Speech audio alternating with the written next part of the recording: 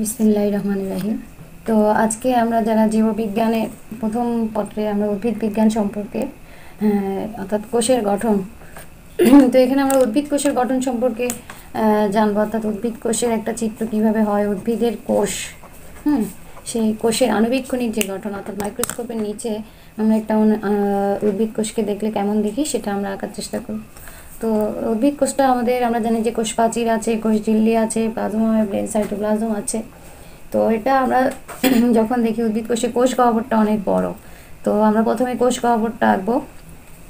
তো আমের যেরকম আটি থাকে, অর্থাৎ উদ্ভিদ কোষেও কিন্তু কোষ গহ্বরটা খালি জায়গা বা খালি অংশটা অনেক বেশি থাকে। তো এটা হচ্ছে কোষ গহ্বর। পরে আমরা হচ্ছে যে প্লাজমা, মেমব্রেন অংশটা আঁকবো। এটা খুবই সহজ কিন্তু পরীক্ষায় এটা বেশি আসে। বেশিরভাগ সময় আমরা দেখি যে উদ্ভিদ কোষ নইলে প্রাণী কোষের আহ, চিত্র অথবা চিহ্নিত চিত্র অঙ্কন করো এরকম একটা প্রশ্ন সবসময় আসে। আর বোর্ড প্রশ্নে এরকম প্রশ্নগুলো বেশি থাকে। তো এরপরে আমরা কোষ চিল্লি আঁকবো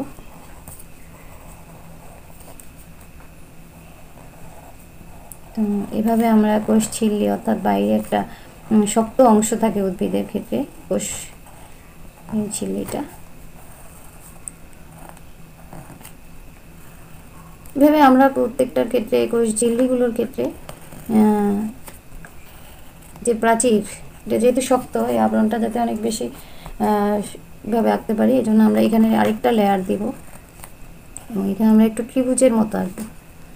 এখানে একটা শেপ চলে যাবে, এখানে একটা ত্রিভুজের মতো আঁকবো। তো এটাকে আমরা স্বাভাবিকভাবে প্লাজমা মেমব্রেনের উপরের অংশ বলে থাকি।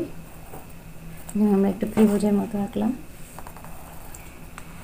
তো এটা যখনই আঁকতেছি, আমরা এখানে প্রত্যেকটার ক্ষেত্রে শেপ অর্থাৎ মাঝখানে যে অংশটা, এটাকে আমরা প্রায় কাছাকাছি, মাঝখান বরাবর রাখার চেষ্টা করব। তো তোমরা চাইলে উপর থেকেও শুরু করতে পারো। আমি যেহেতু উপর থেকে শুরু করেছি, তারপরে আবার অনেক সময় দেখা যায় কেউ হয়তো পছন্দ করে সাইড থেকে আঁকতে। সাইড থেকে আঁকতে পারো। তো এইভাবে আমরা কোষ গহ্বর এবং কোষ প্রাচীর চিল্লি, প্লাজমা মেমব্রেন তিনটে অংশ আঁকলাম। তো আঁকার পরে আমাদের এবার ভিতরে কিছু অর্গান থাকে। অঙ্গাণুগুলো ছড়িয়ে ছিটিয়ে থাকে। আমরা বইয়ের চিত্রের মধ্যে দেখেছি যে সবচেয়ে কোষের ক্ষেত্রে প্রাণকেন্দ্র হচ্ছে নিউক্লিয়াস। তো এখন আমরা নিউক্লিয়াসের অংশটা আঁকবো। নিউক্লিয়াসের অংশটা এভাবে আঁকবো আমরা। নিউক্লিয়াসের এই যে বাইরের অংশটাকে নিউক্লিয়ার ম্যাপ্রিন বলে। ছোট ছোট জায়গা খালি আছে এগুলোকে নিউক্লিয়ার রন্ধ্র বলে। ঘন কালো গোলাকার বস্তু এটাকে নিউক্লিওলাস এবং আমরা এই যে জালিকার মতো যেটা দিচ্ছি, এটা হচ্ছে ক্রোমাটিন তন্তু। তো এটাকে আমরা যেহেতু নিউক্লিয়াসের মধ্যে নিউক্লিওলাস অনেক ঘন, কালো, এটা আমরা জানি, এটাকে আমরা একটু হাইলাইটস করে কালো করে দেব। এর অংশ থেকে আমরা জানি যে অ্যান্ডোপ্লাজমিক রেটিকুলাম তো এখানে একটা অংশ অ্যান্ডোপ্লাজমিক রেটিকুলাম এভাবে আমরা এগো তো অ্যান্ডোপ্লাজমিক রেটিকুলামের উপর যদি ছোট ছোট দানা থাকে, এটাকে অমস্টিন অ্যান্ডোপ্লাজমিক রেটিকুলাম আর যদি এরকম থাকে, তো সংখ্যা এটা আরও বেশিও থাকতে পারে। এখানে আমরা একটা মস্টিন অ্যান্ডোপ্লাজমিক রেটিকুলাম আঁকবো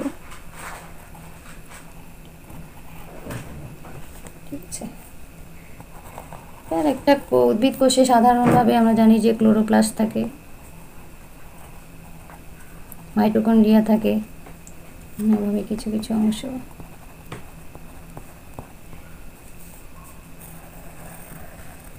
এখন আমরা ক্লোরোপ্লাস্ট আঁকবো।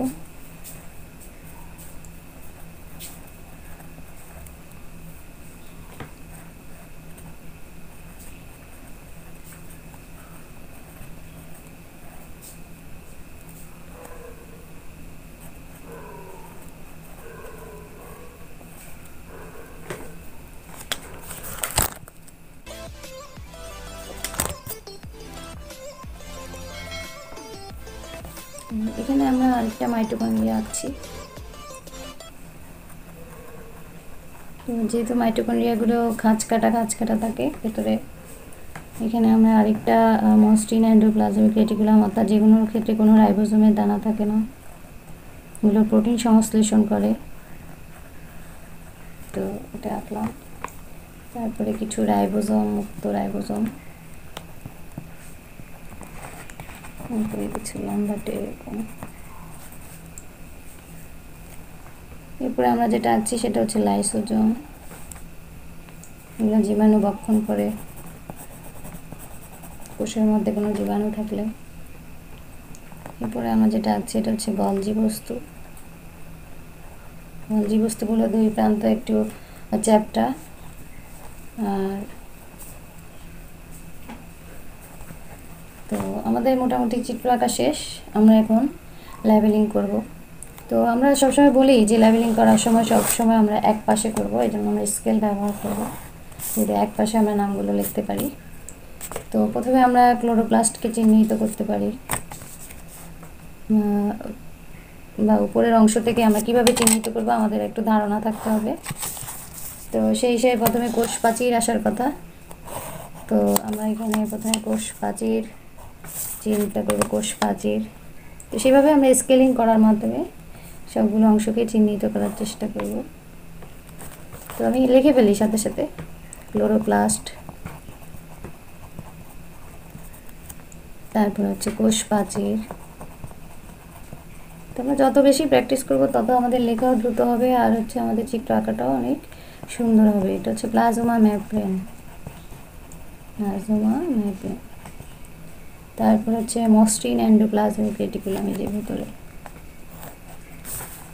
মসৃণ অ্যান্ডোপ্লাজমিক জালিকা তারপরে যেহেতু আমরা এখানে দানাদার রাইবোজোম দেখছি, তো সেকে আমরা বলব হচ্ছে অমসৃণ এন্ডোপ্লাজমিক জালিকা তারপরে আমরা এটাকে বললাম নিউক্লিয়াস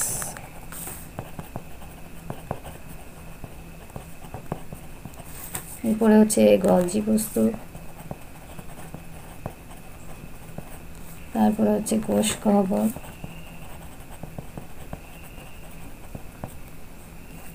মাইক্রোটিউবিউলস।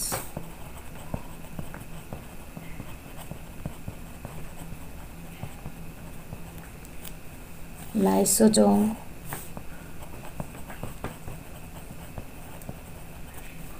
যে ছোট ছোট এই অংশগুলো দেখছি, এগুলো হচ্ছে মুক্ত রাইবোজোম মুক্ত, অর্থাৎ এগুলো চলাফেরা করতে পারে।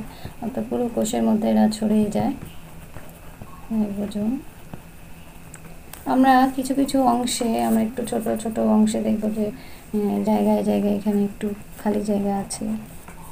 আমরা যখন আঁকবো তখন এই জায়গাগুলো একটু আমরা খালি রাখব। তো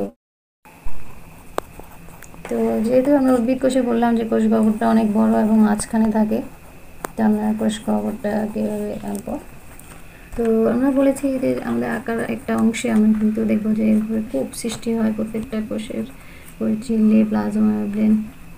এখানে অংশটাকে একটু মানে খালি জায়গায় যাতে কোষ থেকে কোষে সাইটোপ্লাজম অথবা তোমার জলীয় বস্তুগুলো যাতায়াত করতে পারে।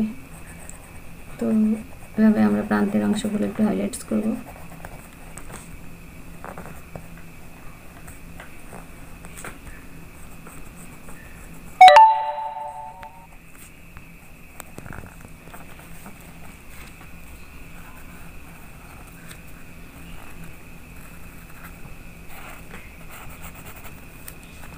তো আমাদের, আমরা দেখছি যে একটা উদ্ভিদ কোষে কোষ প্রাচীর কোষ ঝিল্লি, প্লাজমা ব্রেন কোষ গহ্বর থাকে অনেক বড় জায়গা জুড়ে। তারপর সেখানে নিউক্লিয়াস আছে ক্লোরোপ্লাস থাকে। যেহেতু একটি সবুজ উদ্ভিদে ক্লোরোপ্লাস থাকবে বা প্লাস্টিক থাকে। মাইটোকন্ড্রিয়া থাকে প্লাস্টিক থাকে, এগুলো রাইবোজমের দানা মুক্ত রাইবোজম। তো মাইটোকন্ড্রিয়া আমরা এখানেও আঁকছি এখানেও আঁকছি। এগুলোর সংখ্যায় বেশি থাকলে কোনো সমস্যা এগুলোর সংখ্যা অনেক থাকতে পারে। গলজি বস্তু অ্যান্ড অ্যান্ডোপ্লাজমিক রেটিকুলাম আঁকলাম, মসৃণ। এটা অমসৃণ অ্যান্ডোপ্লাজমিক রেটিকুলাম, এটা গলজি বস্তু এখানে আমরা কিছু মাইক্রোটিউবেও আঁকলাম। মুক্ত রাইবোজোম এবং এটা হচ্ছে লাইসোজোম। তো আমরা এভাবে এক পাশে লেভেলিং করব আর নিচে অবশ্যই উদ্ভিদ কোষ বা প্ল্যান্ট সেলের নাম তো এটা সাধারণত উদ্দীপকে গ নাম্বার প্রশ্নের জন্য আসে, অর্থাৎ তিনের তিন নাম্বার আমরা এখান থেকে পেতে পারি। তো ভালো থাকো সবাই, আজকে উদ্ভিদ কোষ আঁকলাম। পরবর্তী ক্লাসে আবার দেখা হবে, অন্য কোনো কিছু ড্রয়িং নিয়ে।